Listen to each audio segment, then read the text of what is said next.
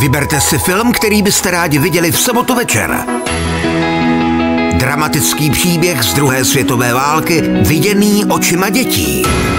Komedii o své rázných občanech vesnice, do které má již brzy přijet televize. A nebo legendární komedii o tom, jak dostat nesmělého profesora ke zkoušce. Zlaté časy, televize v Bublicích a nebo Bublice v televizi, a nebo Cesta do hlubin Študákovi duše. V sobotu večer sledujte film na přání. Hlasujte na csfilm.joj.cz